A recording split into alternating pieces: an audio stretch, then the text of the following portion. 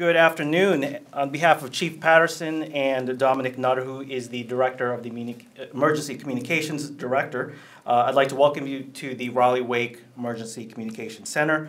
Uh, typically, we hold this event at the Southwest District, but if you haven't noticed, there's a fair going on, so uh, we figured you'd enjoy not being stuck in that traffic. Uh, Chief Patterson will be discussing our 2023 third quarter crime statistics today, in addition to RPD's efforts at curbing crime throughout Raleigh and increasing our community engagement efforts.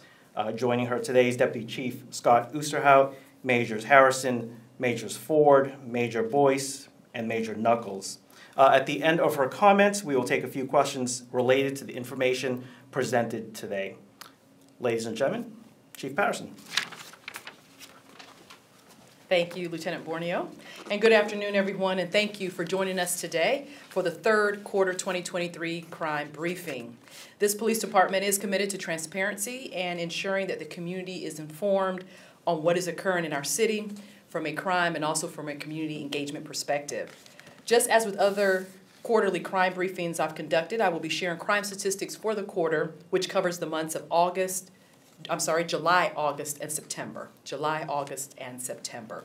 We have provided a handout for you with the current crime statistics and related information. I must say that we have had a very busy third quarter, which is not unusual given the months that it covers. Historically, when it is warm outside and the days are long, we tend to see those upticks in criminal behavior. We did finish the quarter with an overall reduction in Part 1 violent crime and an overall increase in property crimes. I will begin with violent crime.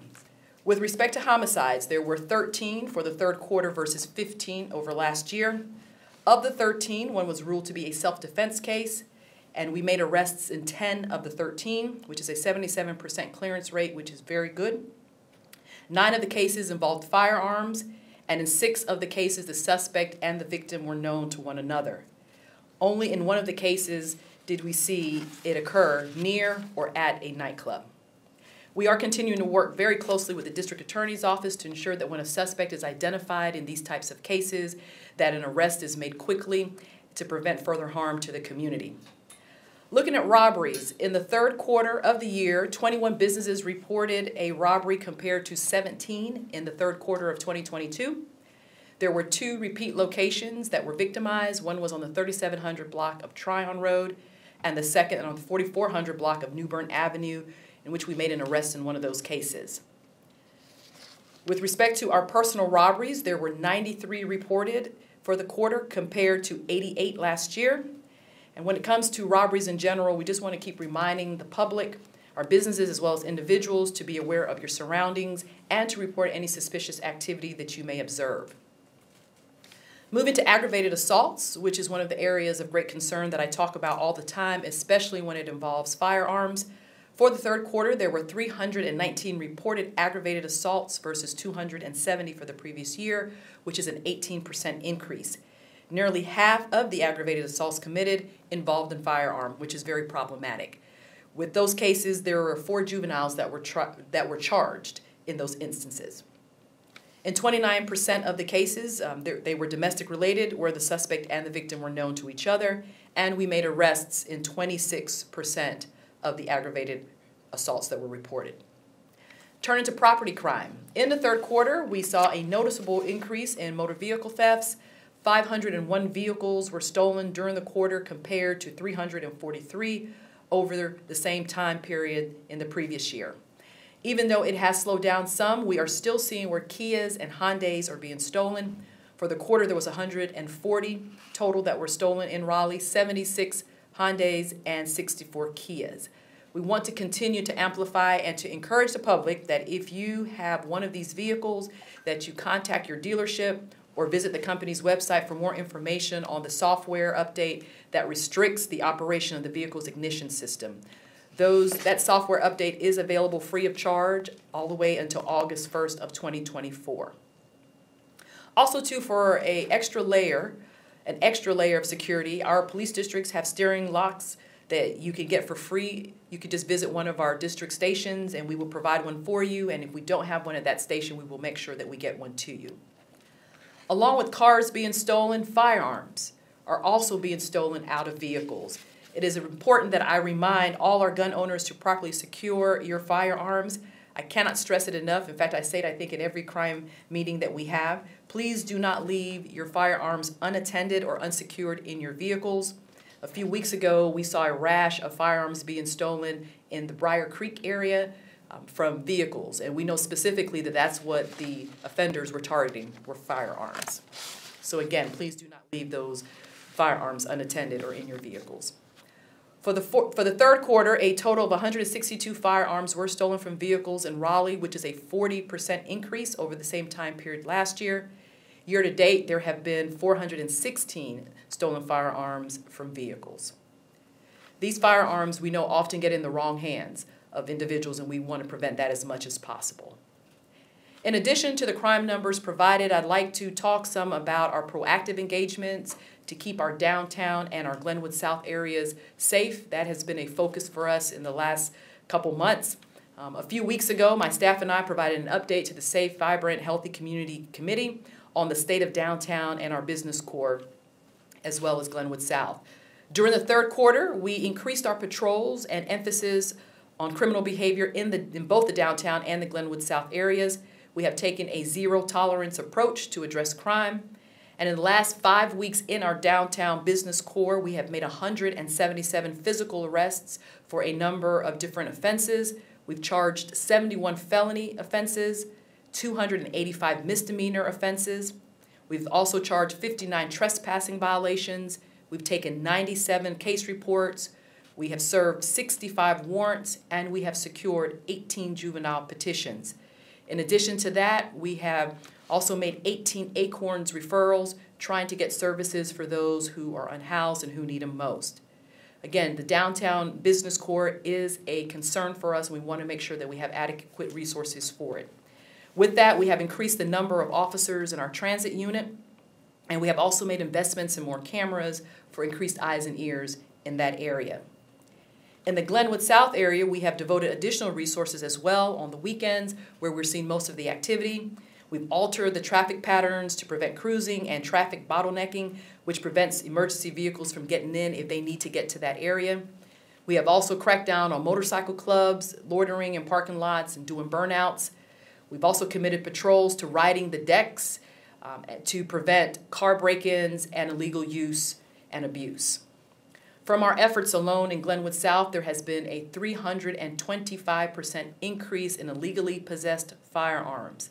Also, too, there's been an increase of 275% in physical arrests and a 33% decrease in loud noise complaints. As we continue efforts to keep our community safe, of course, we always encourage our residents to utilize Raleigh Crime Stoppers to report crime. We offer cash payouts for credible tips that leads to an arrest. Historically, during the holiday season is a time when we start to see increases in larcenies and robberies and we want to make sure that we're holding offenders accountable. And so the public's tips help us to do that. So we are asking you if you see anything, if you hear anything, please use Raleigh Crime Stoppers. You can call us at 919 996 1193, or you can visit us online at raleighcrimestoppers.org. I'm very pleased that during the third quarter we received 216 Crime Stoppers tips. We love that kind of information, so please keep sending it to us. We've done a lot of work in the third quarter, and we're continuing to do that work now. We will, for the year, continue to make sure that our officers are in the right places to affect crime and to keep our community safe. I want to thank you for joining us today, and at this time, my staff and I will open it up to any questions that you may have of us related to the information that I have covered today. Carly? Hi, my name is Carly Haynes with WRAL. Uh, when it comes to violent crime, what percentage is random versus targeted? So I don't have an exact number for you. Um, it appears, though, just looking overall at our numbers anecdotally, that most of the crime that we're seeing, the suspects and the victims are known to each other. However, there are times we do have random instances, but as we investigate it more, what we're finding is oftentimes the victim and the suspects are known to each other. Go ahead. Hi. Hi, Gilat Melamed. Oh, Hi, Gilat Melamed, CBS 17. You spoke about um, the efforts downtown and on Glenwood South, that you're upping presence there. Um, Last month at the city council meeting, we heard city leaders say they're looking into private uh, security and police in that downtown area. What are your thoughts on that, and is there a reason why um, they feel, why RPD alone can't handle that? Sure, and I did discuss that at, at that SVHC meeting that we had. Um, and I've stated publicly, I don't see that private security being a force or a group of people that's going to hinder the job that we're doing there. Actually, I believe that they can supplement what we are doing. I want to be clear that private security is not going to replace RPD officers. I've already stated today that we are increasing the number of officers that we are putting in our transit unit in that area or, or Go Raleigh station. So we'll continue to do that, but I think that we could work collectively to be able to impact the crime that we're seeing. Go ahead, sir.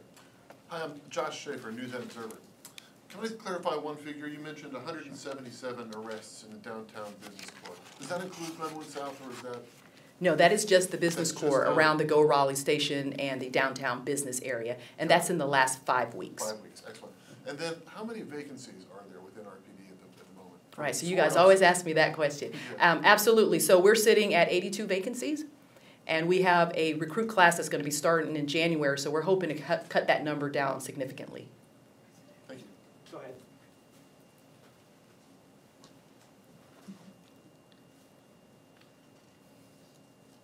Hi, Denise Price with ABC eleven. Could you explain to me the zero tolerance approach? What does that look like? And also, how many officers are you guys adding to the transit area? Sure. So the zero tolerance really just includes us anytime there's any kind of criminal activity or behavior in the downtown, we're taking action against that. Uh, we have educated the public to let them know, to let individuals know that we are going to be in the downtown area, in the Glenwood South area, in our whole community, period. And so we will educate by giving people warnings initially, but we are taking an approach where if you are committing crime in those areas, we will take enforcement action. With respect to your question on the transit unit, we have added some more officers. Um, I can't give you the exact number, but we have added to our unit. Go ahead, Denise. Okay, I also wanted to know about the private security officers.